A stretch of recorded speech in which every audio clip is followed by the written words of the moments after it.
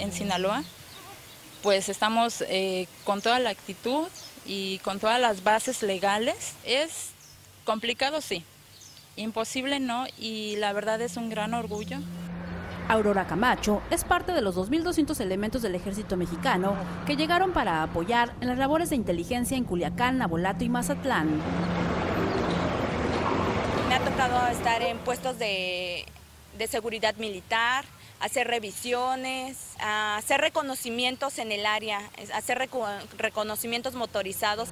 Reina Ramírez tiene 26 años, es originaria de Tlaxcala. Se integró al operativo del Mando Único Coordinación Sinaloa para vigilar las cuatro sindicaturas más peligrosas de Culiacán. Me gustaría que toda la población supiera que estamos aquí para ayudarles. Ambas mujeres, entrenadas en Tlaxcala, pertenecientes al 81 Batallón de Infantería, desde su llegada a Sinaloa han logrado asegurar cinco laboratorios clandestinos, más de 9.000 dosis de cocaína, 700 kilos de marihuana, 86 vehículos, 74.950 litros de hidrocarburos, cuatro tomas clandestinas, 78 armas y 10 granadas de fragmentación.